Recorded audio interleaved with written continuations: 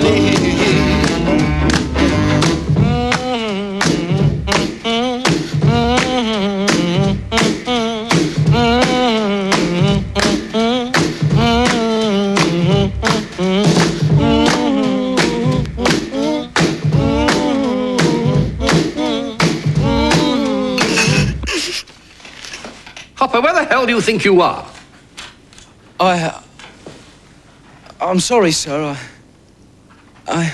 I swallowed the wrong way, sir. Sorry, sir. Get on with your work, man. Get back to your desk. Sir!